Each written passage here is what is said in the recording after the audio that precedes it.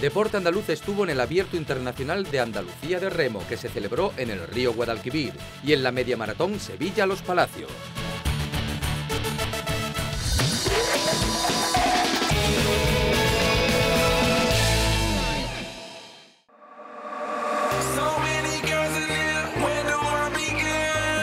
Séptima edición del Abierto Internacional de Andalucía de Remo, patrocinado por la Consejería de Turismo, Comercio y Deporte de la Junta de Andalucía, se celebró el pasado fin de semana en Sevilla.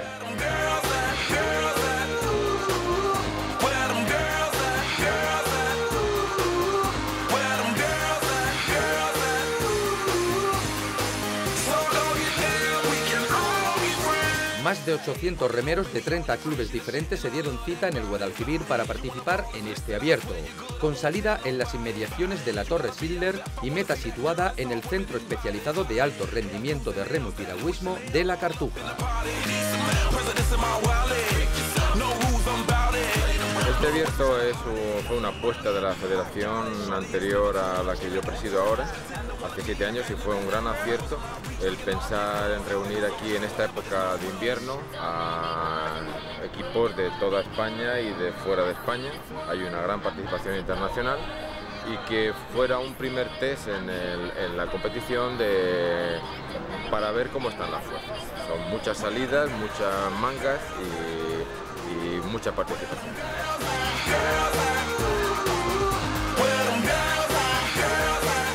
Náutico de Sevilla se proclamó vencedor de este abierto en el que se dieron cita las categorías cadete, juvenil y senior.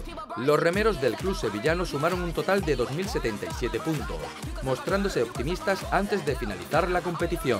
Yo creo que bastante bueno porque somos, por lo menos en cadete, somos muchas niñas, hemos presentado muchos botes y esos son puntos para el club y después además mm, los seniors y los juveniles también van bastante bien y yo creo que podemos ganar el abierto este año.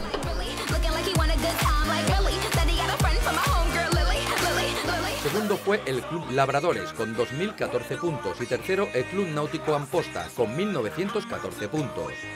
Patricio Rojas, campeón del esquí senior masculino, destacó la importancia de vencer en esta competición. Un abierto es, como el mejor, se puede decir, el mejor, como el mejor club de, España, se puede decir que gana el abierto, tanto en niños como en puntos, porque no es por medalla, sino por oro, es por puntos que cada, cada puesto puede dar un, número mayor de puntos y así pues ganas el, campeonato.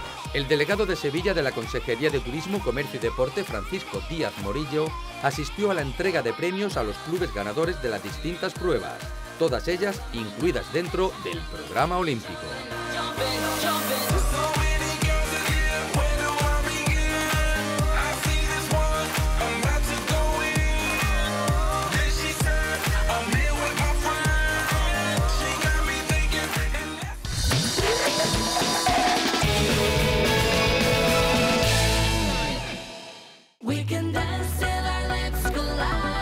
La localidad sevillana de Los Palacios y Villafranca celebró el pasado domingo la 33 edición de la Media Maratón Internacional Sevilla-Los Palacios.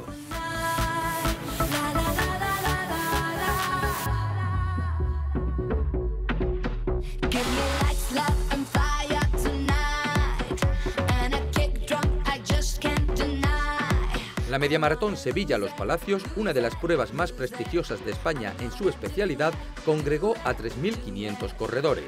Los participantes se volvieron a reunir un año más en una prueba que destaca por la dureza de su recorrido. El recorrido es un recorrido bastante eh, con bastante desnivel, parece ser que una carrera que es eh, bastante llana, pero no es llana. Cuando llega al kilómetro 6 empieza los desniveles y al que piensa que es una carrera fácil, al, final es un poco pesada y, y dura y al final lo dicen todo, ¿no? Parece que es fácil, pero no es tan fácil la carrera de la media maratón de los Palacios.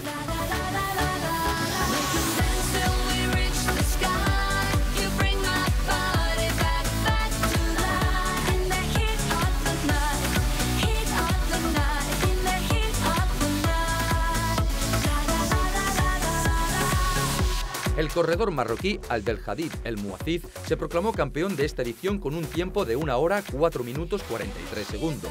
El segundo puesto fue para el andaluz Modesto Álvarez, 1 hora 8 minutos 35 segundos, que llegó por delante del gaditano Carlos Cepero, tercero en la general con 1 hora 9 minutos 32 segundos.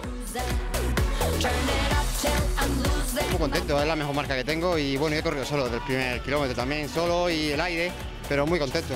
En féminas, el primer premio fue para Naza Macru, con una marca de 1 hora 14 minutos 35 segundos. Segunda fue María Belmonte, 1 hora 19 minutos 28 segundos. Y Raquel López cerró el podio en tercera posición tras emplear un tiempo de 1 hora 20 minutos 27 segundos. El buen día que reinó en la prueba y el ambiente festivo durante la competición fueron las notas a destacar de esta edición. La carrera muy buena, eh, también buen día, hoy hay sol, eh, la carrera muy buena, muy buena, me gusta mucho. Yo corro el año pasado aquí, este, este, año también, yo hace una marca buena. Es un poco dura, la verdad. Ha hecho un poquito aire, pero bueno, el día la temperatura ideal. Al principio un poco frío, pero cuando llevas ya dos kilómetros te sobra todo, te sobra todo. Miles de vecinos se dieron cita en las calles de la localidad palaciega para animar a los atletas que en esta ocasión batieron un nuevo récord de participación.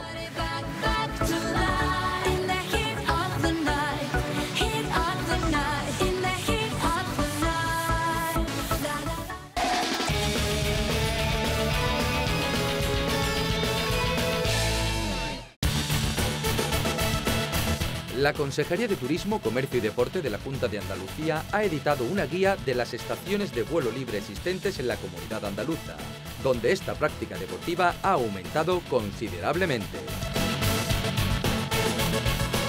La publicación ofrece información tanto deportiva como turística de las 25 instalaciones que están disponibles en Andalucía, en cuanto a condiciones climatológicas e infraestructuras para el despegue y aterrizaje, así como datos sobre los municipios colindantes guía, que también se puede descargar online en la web de la Consejería de Turismo, Comercio y Deporte, está disponible tanto en español como en francés, debido a que el país galo es el mayor emisor europeo de viajeros interesados en este producto turístico y deportivo.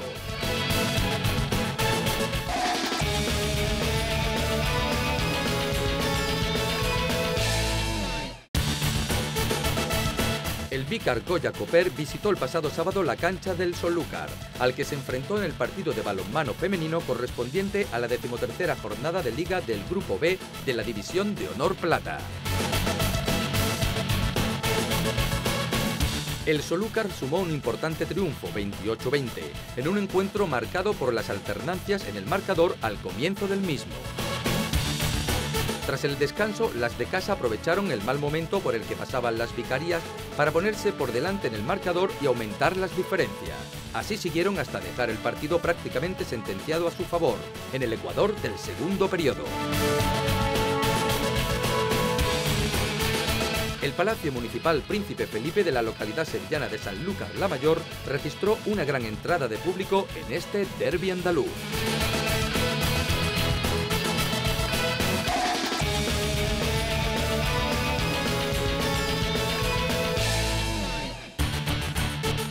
Próxima semana Deporte Andaluz les ofrecerá un programa resumen de las actividades de deporte base en Andalucía con lo más destacado del año 2011.